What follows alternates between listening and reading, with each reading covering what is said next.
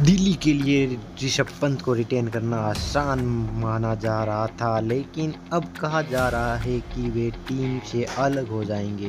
Team के management के साथ उनका रिश्ता खराब हो रहा है।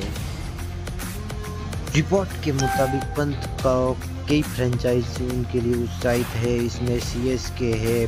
सबसे पहले, हालाँकि ऑप्शन के प्रस के लिए आज से पंजाब किंग्स का पलड़ा सबसे भारी है। देखते हैं ऑप्शन के बाद ऋषभ पंत कौन सी टीम से खेलेंगे? क्या ऋषभ पंत सी एस के के साथ आ सकते हैं? आप कमेंट करके राय, अपनी राय ज़रूर दें।